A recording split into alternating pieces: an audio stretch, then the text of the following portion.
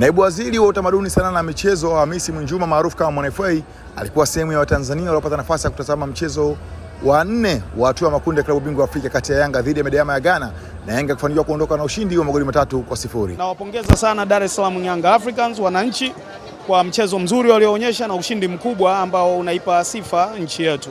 Kwa hivyo uh, tuangalie kama ambavyo nilisema, tunacheza mechi moja alafu inayofuata tunacheza mechi nyingine moja. Kwa hivyo tuangalie linalofuata, lakini kama ambavyo nilisema pia jana kwamba nafasi yetu sasa hivi ya ku qualify kwenda kwenye hatua zinazofuata kwa timu zetu zote mbili ni kubwa sana, na naamini kwamba hilo tutafanikiwa kulifanya.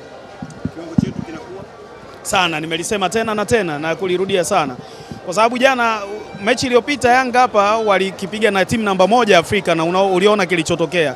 Hatukushinda, lakini ngoma ilikuwa papatu papatu. Mechi iliyopita ya jana Simba walicheza na timu namba mbili Afrika ambayo inatoka katika nchi inayoongoza namba moja kwa kiwango cha mpira Afrika na uliona kilichotokea. Kwa hivyo uh, hicho ndo kitu ambacho mimi kinanifurahisha kuliko hata haya magoli kusema ukweli. Yaani mahali tunapokwenda watu watakuwa wanajiuliza mara mbili wakiwa wanakuja Lupaso. Mtano kwa kila mmoja, Simba na Yanga, nafasi ya kuelekea robo fainali ni kubwa, ndogo ama wastani?